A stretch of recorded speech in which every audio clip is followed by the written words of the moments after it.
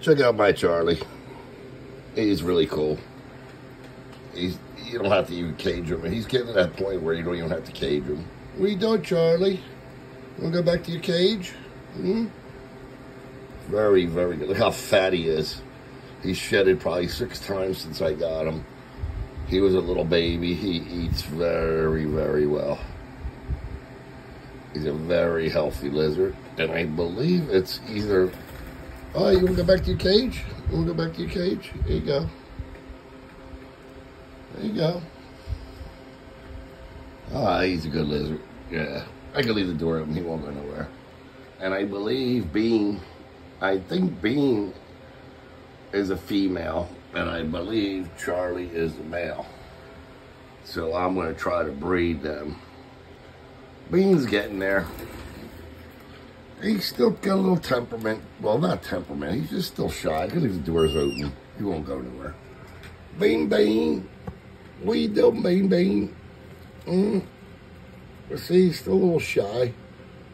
But he's he's almost there. He'll get there. Bean, Bean. What you doing, Bean, Bean? Bean, Bean. Ah, you know I won't hurt you. Why are you getting jumpy? Huh? And uh, Bean's doing good. And uh, Jet. Jet's doing very good. He's hiding now, but uh, let's see if we can get him out. I'll show you Jet. I've been rehabilitating him. He's getting his legs back. Whoa, the lid fell.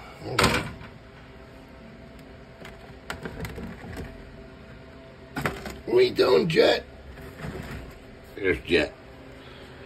A fat. He's very healthy, eating wise. He just. He's not been shedding, so I got him on a calcium diet right now. He loves his little hiding spot. Oh, get your tail in there. Whoa, get your tail in there. Yeah. All right, there we go. But he's doing better. He's still alive. That's all that matters. But, uh, I love my lizards. Bang, bang, bang.